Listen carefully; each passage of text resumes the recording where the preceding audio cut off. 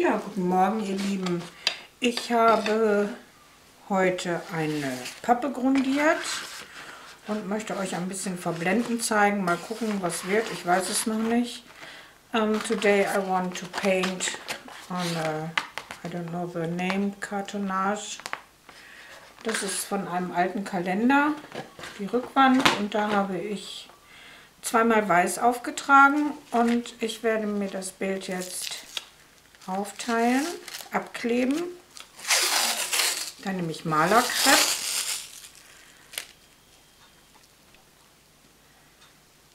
So, klebe mir das ab. Vielleicht solltet ihr das abmessen. Ich mache das jetzt mal Pi mal Daumen.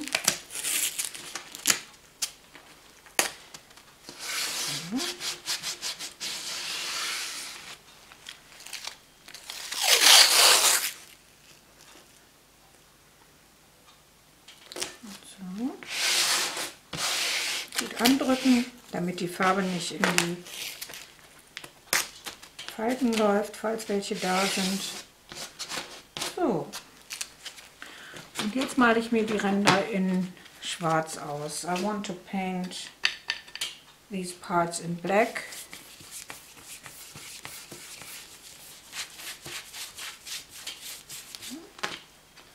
Ich habe hier noch die Reste auf meiner Palette von neulich, von dem Bild.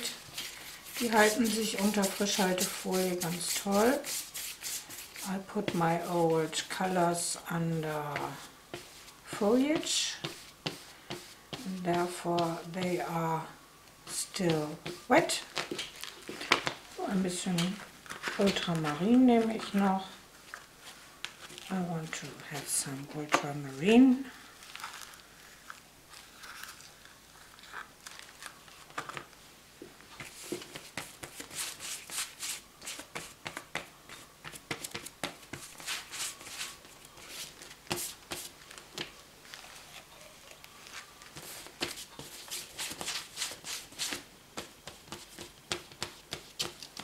Dem Schwarz nehme ich immer ganz gern einen etwas teureren Farbton, einen Pastosen, weil das günstige Schwarz wird immer oder sehr oft grau. Die Marken, die ich ausprobiert habe, die werden meist grau. Um, ähm, if I want to use black and I want to have a dark black, I'm using the expensive colors, they are better to cover the canvas. So, das mache ich jetzt zu Ende.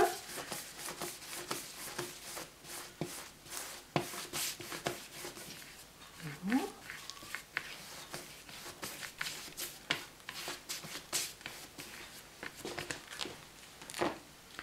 Jetzt ziehe ich mir einfach die, das Malerkrepp ab und habe so einen ganz schönen Rand.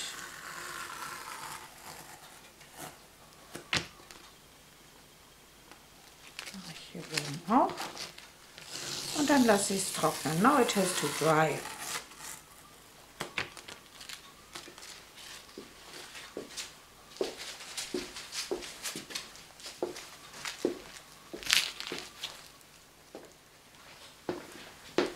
So, weiter geht's. Ich klebe mir jetzt hier die schwarzen Felder ab.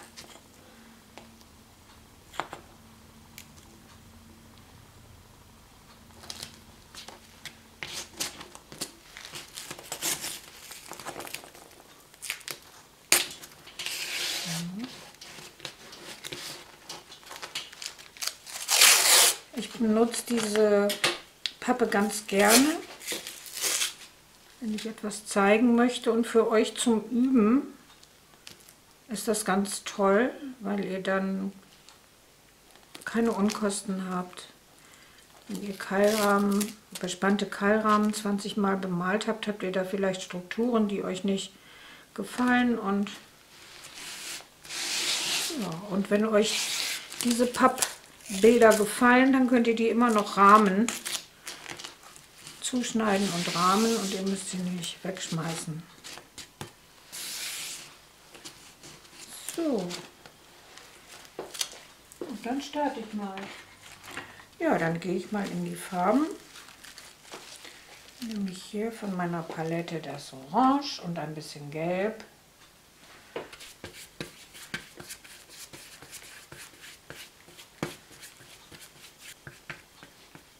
I'm painting the colors without pressing the brush.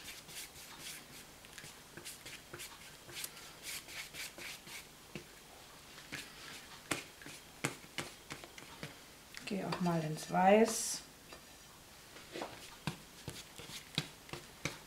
Es gibt dann einen schönen Aprikoton.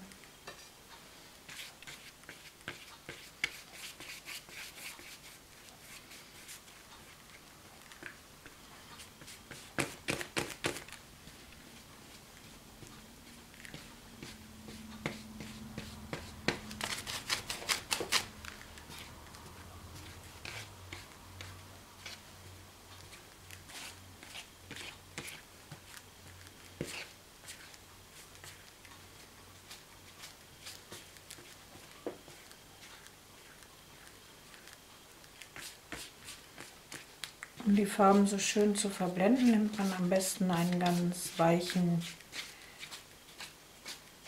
Synthetikpinsel. To blend the colors you can use you can use a synthetic brush.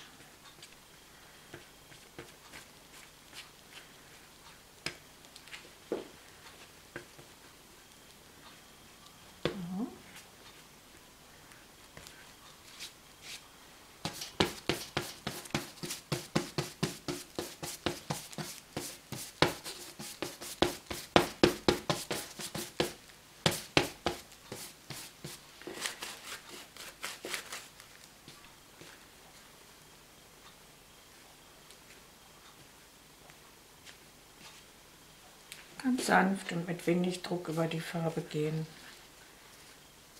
Wenn zu viel Farbe auf dem Pinsel ist, dann die Farbe abstreifen und nochmal drüber gehen.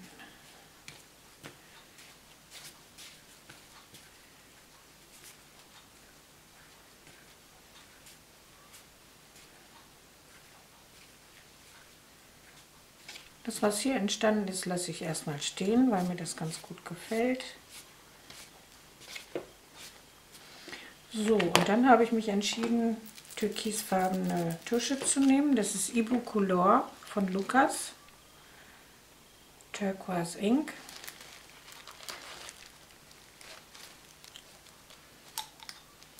Das wird ein ganz knalliges. So.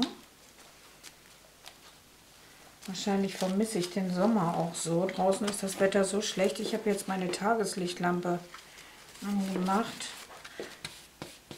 The weather is very bad here and therefore I'm using these colors to get some summer feeling.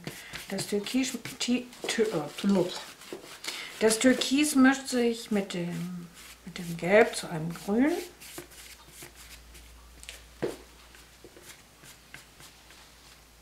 Turquoise and yellow is mixing into green.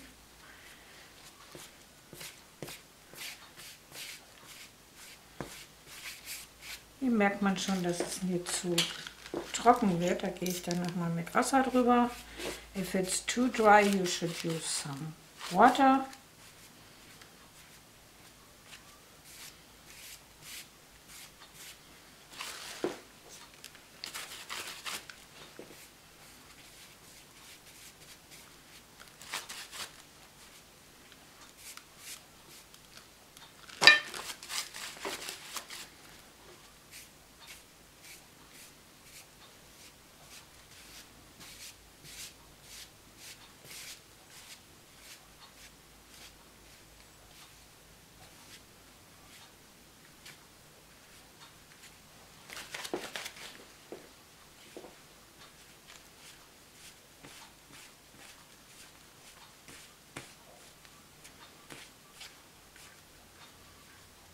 Und so werdet ihr dann mit der Zeit verschiedene Schichten auch haben.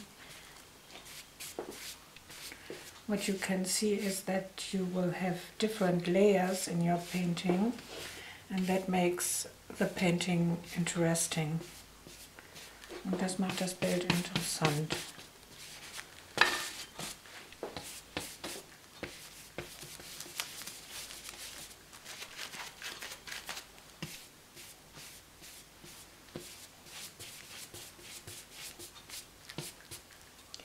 ins Gelb hier.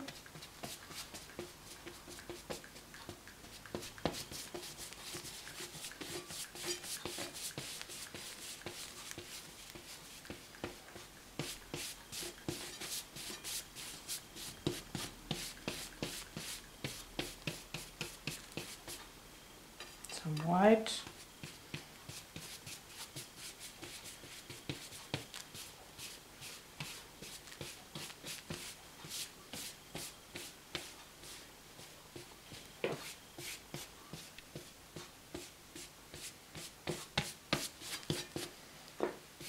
Das sieht doch schon nach Sommer aus.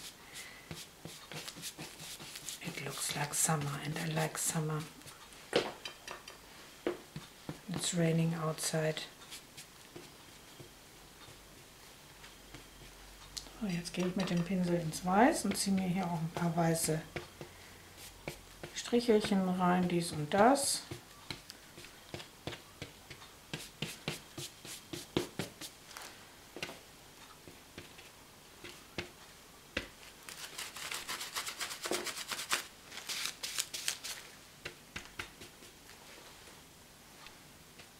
Da, wo es mir nicht gefällt, gehe ich dann nochmal mit dem Orange rein.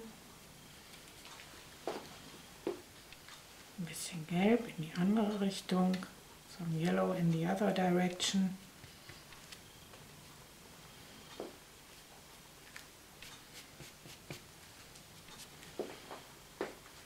So, jetzt ziehe ich mir das mal ab.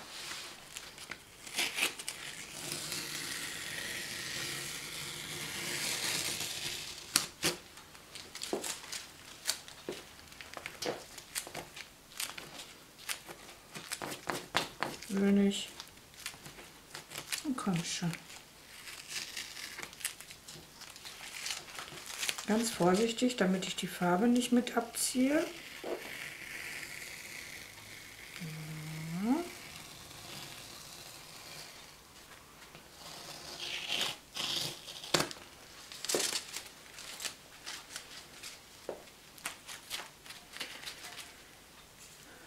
Ja, und was ich möchte ist, dass das nicht ganz so in einer Ebene ist, sondern dass ich vielleicht das Orange mit Gelb noch ein bisschen hier rüber ziehe. Da mache ich mal einiges an Farbe rein. Hier auch.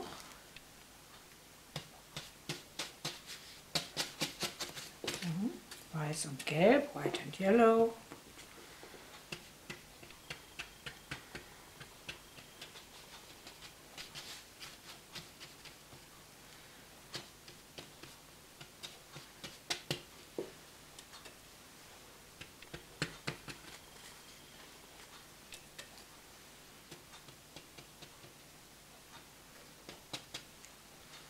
and I'm using the color thick.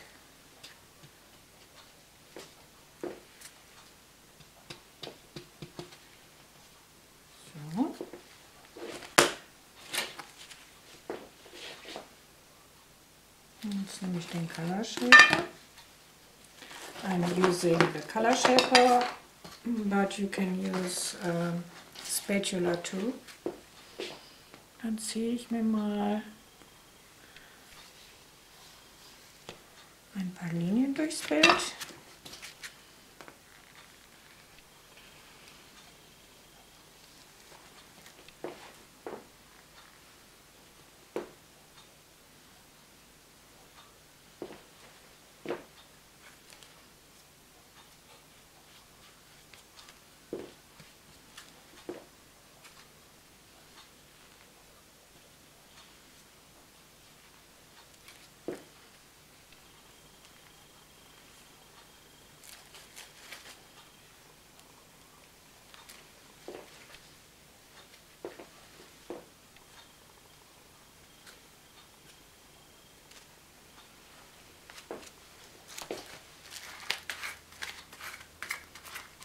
Ich jetzt noch möchte, ist mehr Weiß. I need some more white.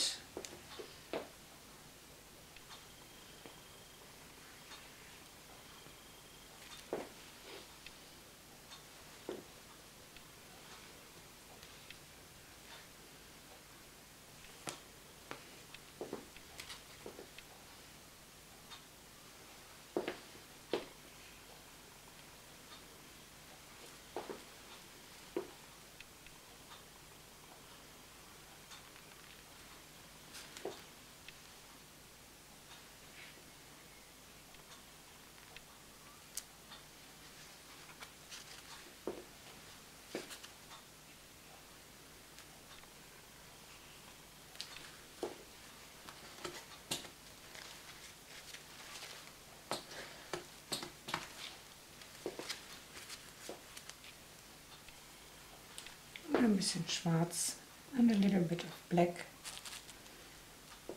to get some gray here and there.